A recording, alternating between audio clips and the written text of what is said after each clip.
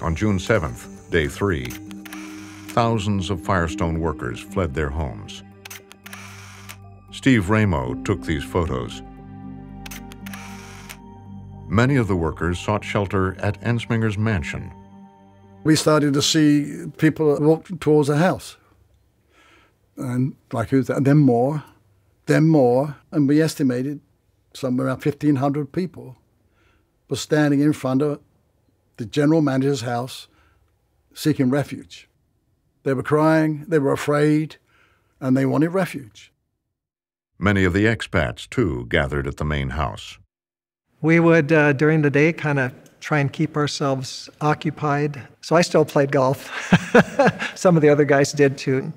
And um, we just watched to see what would occur. We were hoping that once they had had this initial uh, battle, and that things would move off the plantation. That was my hope, anyway. As the battle raged, Firestone workers continued to seek refuge at the main house. But Ensminger says he had no other choice but to turn them away. They told us that we cannot, he cannot take us in because we are the ones who will be protecting him, not he protecting us. He said, it's Liberians that are coming. You are going to be safe among your own people. You don't need to come in. So only the experts, only the expats can come in, not the Liberian staff. It made me feel very bad that um, that present management did not care about the well-being of the black staff.